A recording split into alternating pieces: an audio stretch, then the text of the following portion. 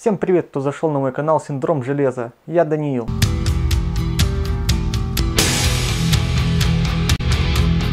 Продолжу тему новичков. Расскажу 6 основных мышечных групп, которые есть на теле человека. Для тех, кто хочет конкретики, откройте анатомию и посмотрите все 600 мышц. Начну мышечные группы перечислять от больших к маленьким.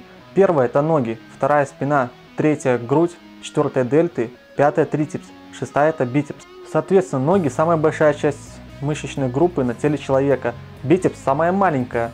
И, соответственно, нужно подбирать определенную нагрузку под маленькую и под большую мышцу. Самая большая и распространенная ошибка у новичков – это грузить бицепс, трицепс большим количеством подходов, повторений и упражнениями. От этого они у вас больше не станут и не вырастут.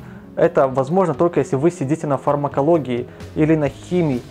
Хотя это одно и то же. Потому что, чтобы выросли руки, надо, чтобы они соответствовали вашему телу. То есть если будет тело большое и крепкое, то будут большие и крепкие руки. На фармакологии мышцы растут быстрее. Это не значит, что это хорошо или это полезно.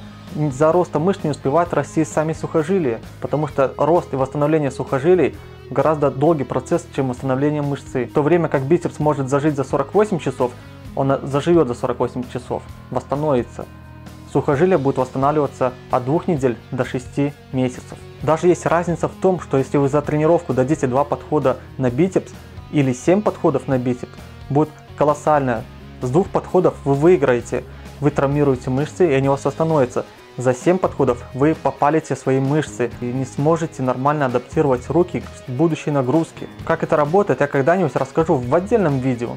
Чего я прицепился именно к бицепсам, трицепсам и вообще к рукам. Руки я подразумеваю, что на них находится предплечье, плечо, бицепс, трицепс и дельта.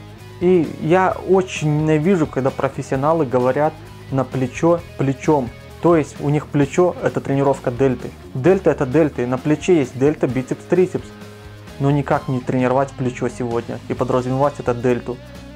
Во всех журналах это написано, но это неправильно, это не профессионально. У организма есть такая вещь, как физическая память. Новички, прежде чем придя в зал, сразу хватаются за эту штангу на бицепс, начинают делать по 30 килограмм. От этого страдает техника выполнения упражнений и поясница. То есть можно принести себе травму, не можно, а принесете вы себе травму. Начинают болеть сухожилия из-за того, что они плохо растянуты, и их надо подготавливать определенными весами тоже на бицепс. И сами рассудите, если вы весите 50 кг и берете штангу 25-30 кг на бицепс и делаете на 80 раз, вы серьезно думаете, что вы можете руками поднять больше половины своего тела, а на приседание вы 40 килограмм присесть не можете? Вы что, серьезно думаете, что вы на руках ходите? Это глупости. Вот вы спросите сами себя честно, что вы знаете о восстановлении, что вы знаете о методике спорта, о методиках тренировок.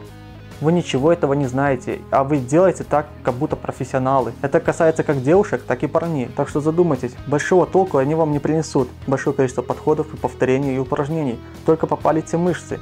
А у организма есть еще такая вещь, как физическая память, которая запоминает всю вашу координацию, ваши движения.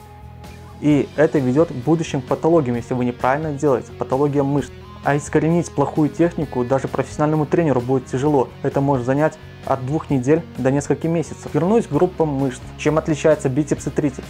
У трицепса 3 мышечных волокна, у бицепса 2. Значит бицепс будет слабее, чем трицепс. А что мы видим в зале?